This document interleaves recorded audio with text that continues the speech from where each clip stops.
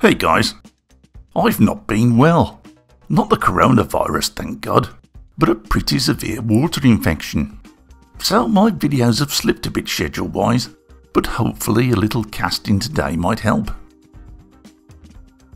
A few weeks back, I introduced you to a new friend of mine, Manuel Urbanek, a talented German filmmaker that created the intro session you see at the start of this video.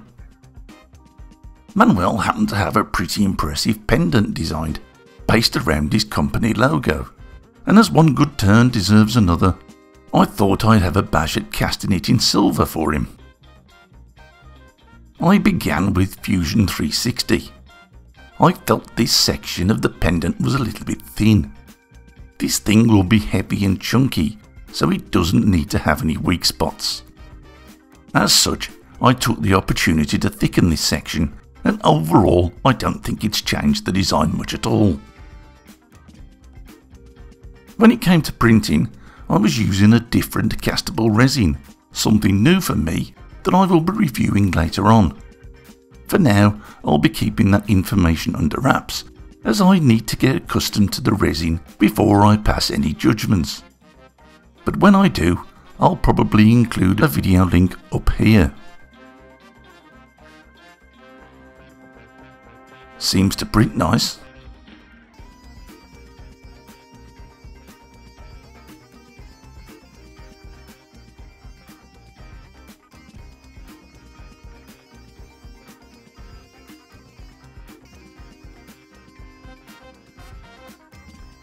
Unfortunately, one side of the print didn't come out too well, so I lost detail and had to repair with wax. But let's not blame the resin yet, it could still be me.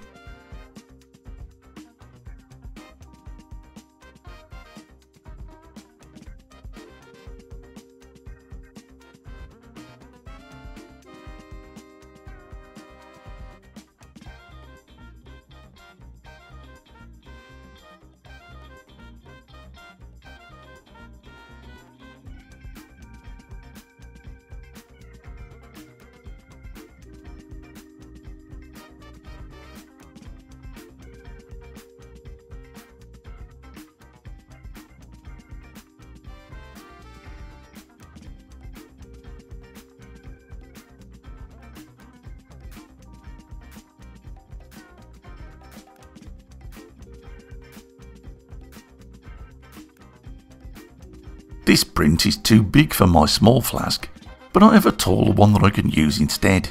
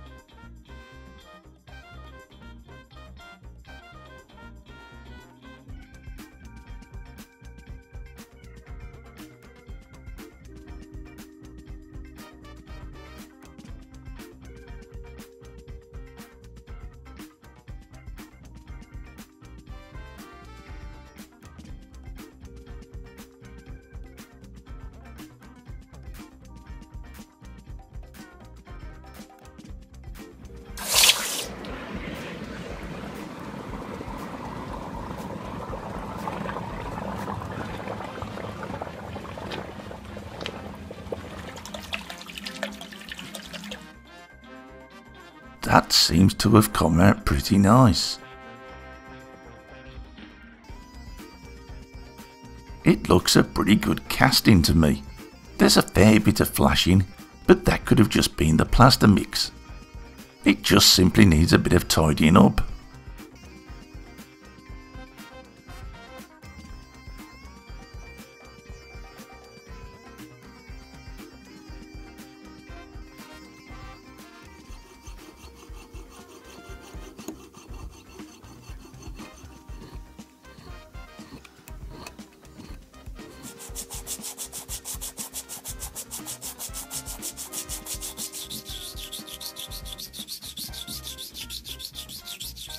Just boiling water and a little citric acid clears away the oxidization.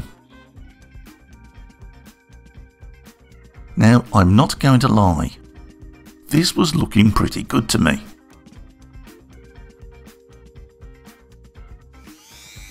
I used one of these abrasive sanders. It's the finest I have, around 300 grit, and my hope was to get into all the detail with ease.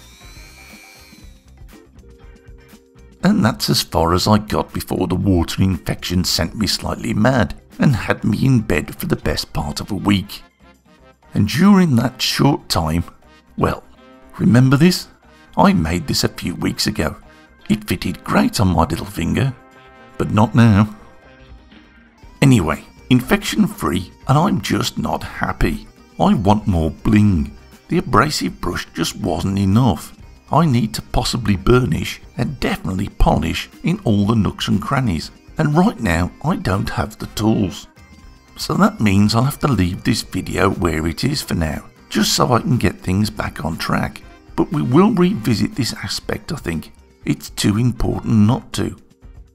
So in the meantime guys, just remember, be careful what you polish your delicates with, it might not leave you happy.